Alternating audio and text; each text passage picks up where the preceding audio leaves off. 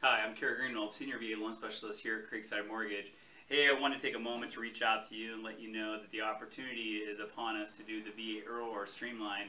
Um, there's a rule that came in place in the en- last year, which is 210 days past your first payment date um, before you're eligible to go through and partake in a VA Streamline. Uh, rates are low. Rates are still here. They're, they're, they're set up at this point. We want to take advantage of it. So the Streamline allows you to lower your interest rate, number one, which is going to in turn lower the payment. Um, you'll be able to skip one to two house payments plus get your tax and insurance money back.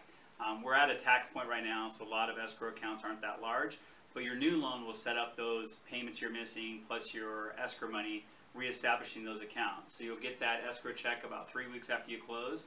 Um, but it's definitely at the point right now for us to take advantage of it. Even if you're not at the 210 days as we approach it, we want to get your file set up and be ready to take, take it in case rates do maintain where they're at.